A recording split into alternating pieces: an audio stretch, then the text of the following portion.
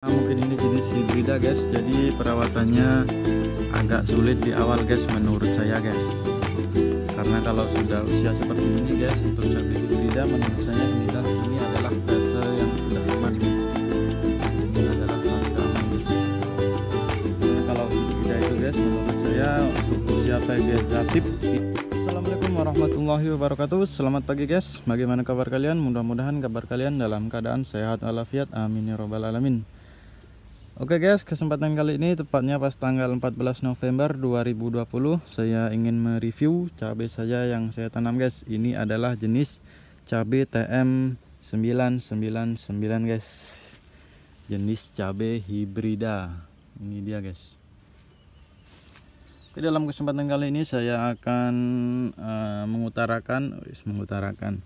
Saya ingin men-sharing pengalaman saya tentang menanam cabai hibrida TM99 guys. Apa saja kekurangan dan kelebihannya guys? Simak video berikut ini guys.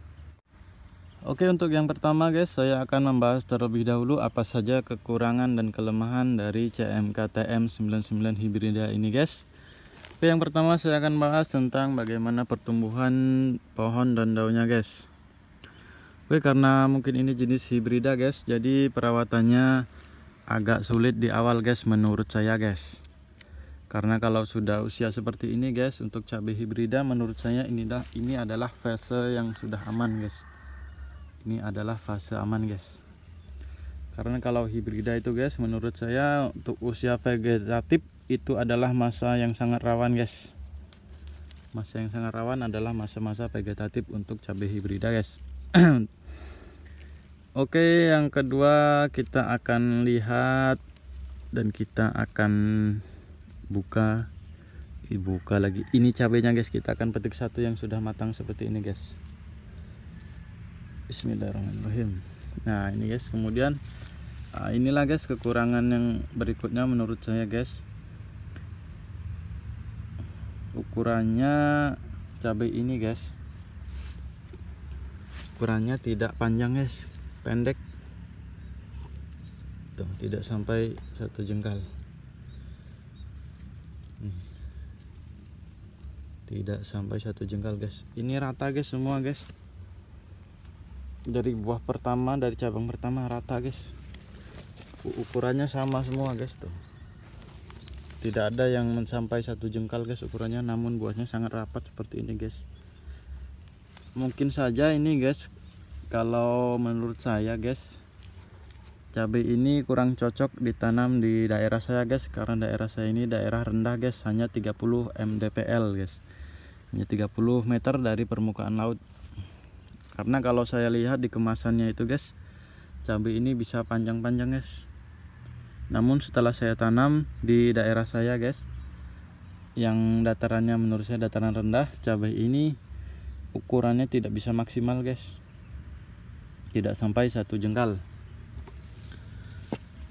Oke kita akan lihat isinya seperti apa guys. Bismillahirrahmanirrahim.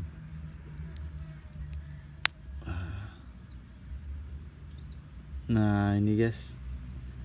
Inilah yang saya suka dari cabai hibrida guys.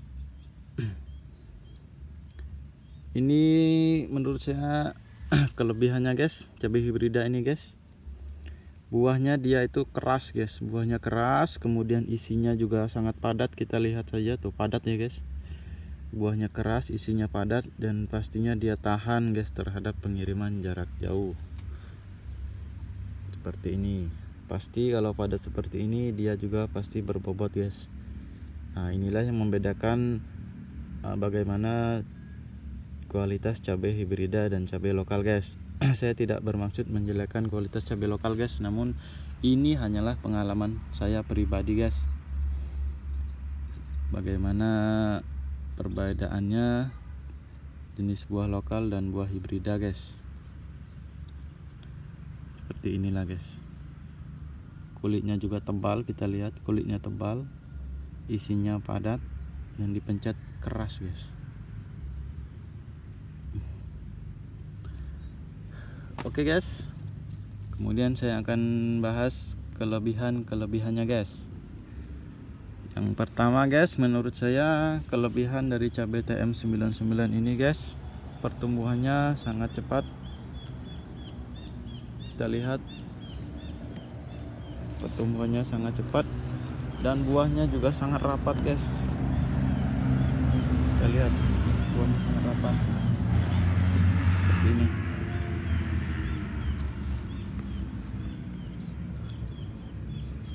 buahnya sangatlah rapat sayangnya pendek-pendek guys. Mungkin saja kalau ditanam di dataran tinggi dia ukurannya akan maksimal guys mungkin saja. Buahnya sangat rapat dan dia juga tahan tahan terhadap rontok guys. Kita lihat ini banyak yang jadi guys. Seperti ini. Kemudian kelebihannya guys seperti tadi yang sudah saya sebutkan buahnya itu keras padat dan berbobot guys. Pastinya dia lebih tahan terhadap serangan serangan hama dan penyakit guys. Ini adalah jenis cabai TM 999 kita lihat. Sini sudah mulai banyak yang merah guys ini dia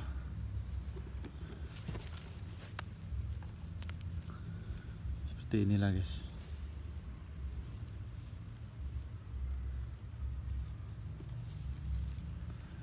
Oke mudah-mudahan video ini bisa menjadi referensi buat teman-teman yang ingin menanam cabai hibrida guys. Tepatnya jenis TM999 Nah buahnya sangat rapat guys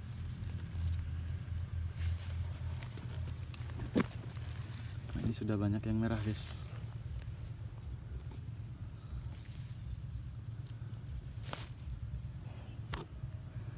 Oke guys.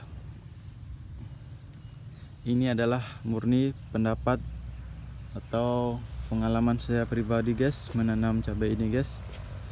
Uh, Saya membuat video ini tidak ada dorongan dari pihak mana pun guys. Mohon maaf apabila ada kesalahan kata dan sikap guys Karena saya hanyalah manusia biasa guys. Oke mungkin cukup sekian video kali ini guys. Mudah-mudahan bermanfaat. Sebelumnya saya mohon dukungannya untuk tekan tombol like komen dan subscribe guys. Mudah-mudahan teman-teman yang sudah subscribe saya doakan diberikan kesehatan dimudahkan dan dilapangkan rezekinya guys serta dipermudah segala urusannya. Amin ya rabbal alamin